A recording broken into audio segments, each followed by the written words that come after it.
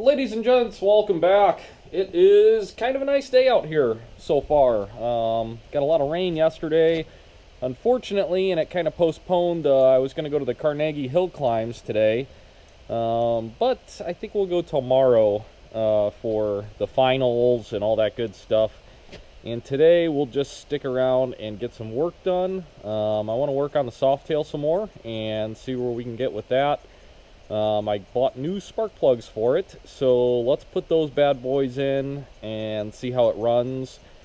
It's a dual plug head, so there's four spark plugs and you got to take the push rod tube covers off just to get to the spark plugs. Kind of a pain in the butt, but uh, yeah, we'll start there. See what else. See what else we can get into. Well, we got the plugs in.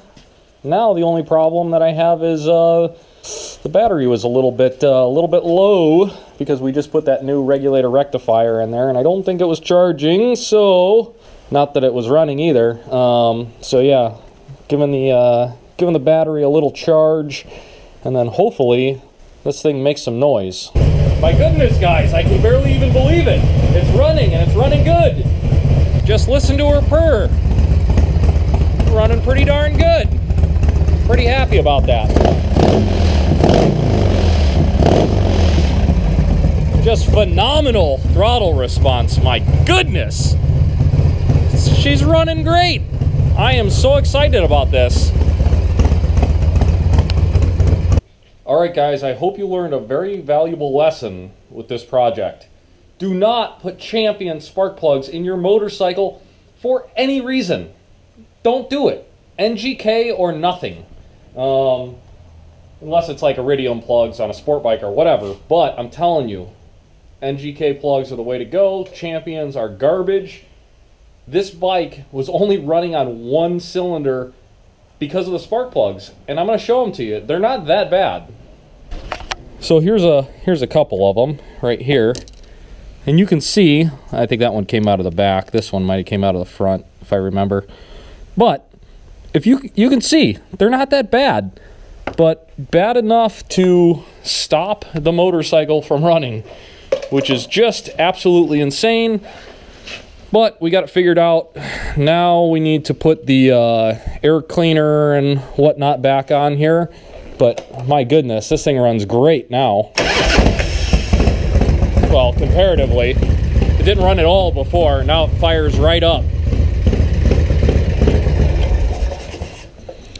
So yeah, let's uh, let's button up the air cleaner stuff on here and then the last thing that we have to do to this bike before we can send it home is put the dash in. And it's missing a couple parts so we're gonna have to make something work there. But um, oh my goodness with how much work I put into this thing you better believe it. I'm gonna make something happen and get this thing off my lift especially because oh my goodness I was gonna wait to show you guys but I just can't in here, I have the electronic ignition for the Bultaco. Yeah, that is going in this week.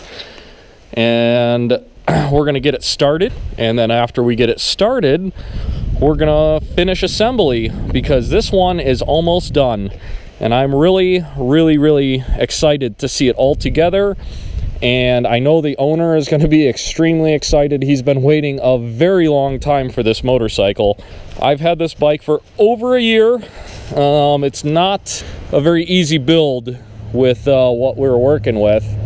To tell you the truth, this was one of the one of the hardest projects I've had just because everything is very particular parts are a pain in the butt and it was missing so many parts when we started. This was a total basket case. So yeah getting stuff done at the shop. Boy uh, boy i am just so excited about this uh, thing running good. I was really scratching my head. Um, but yeah she's a runner. Thank goodness so somehow i uh, misplaced my chest mount for the GoPro, so I apologize for that. It's kind of hard to video with the GoPro and show you what I'm doing, but to give you an idea. So I wanted to flush the gas tanks without taking them off, well, attempt to do that. So this is the setup I got going on here. Took out the petcock, of course, and block this one off, putting vinegar in this side, and then I take this off, put my hand over it. Oh, and you can see the nice burn I got from the exhaust. That was awesome. But anyways, put my hand over it, air hose, pressurize the tank, and it pushes it through. And then that way, we'll clean out the line and all that good stuff without taking the tank off because I have to charge for my time. And if I take this tank off and clean it, it's going to take hours. Um, so we're going to try to avoid that. And also, if I take the tank off, I'm just going to have to end up relining it. So we're not going to do that. Um, just getting it put together the best way. Fortunately, there's not a lot of rust in the tank. I really don't know where the rust was coming from because looking inside of it with the flashlight, I don't see a ton of rust. So hopefully the vinegar, what little rust is in there, the vinegar will, you know, clean that up and the it's coming out clear now. So that tells me that the, the tank's pretty clean. Um, maybe we'll put an inline filter on it just to be sure. That doesn't sound like a horrible idea. But yeah, making progress. Now I got to figure out this stupid dash. I got the uh, the cable ran the correct way up up through there for the speedo, but uh, I got to figure out some kind of way to mount it. All right, I feel like I got the, the tank as clean as I can get it, um, and I'm going to throw in the new petcock.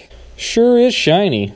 All right, guys, we are so close to being done on the Softail, I can almost taste it. Um, one thing I can smell, speaking of senses, is a little bit of fuel. Every once in a while, this thing leaks some fuel from the carburetor still. Uh, so I'm going to get on the old interwebs and look up to see if the float height is adjustable in the, uh, the old Super E. And if it is, great. And if it's not, I don't know. Um, from the factory, these bikes come with the vacuum petcock. Really good system, works really well. Uh, this one doesn't have it because it's all aftermarket and souped up and whatnot. So, we're going to tackle that tomorrow. As always, thanks for tuning in. If you're new to the channel, please subscribe while you're here, and we'll see you tomorrow on the next one.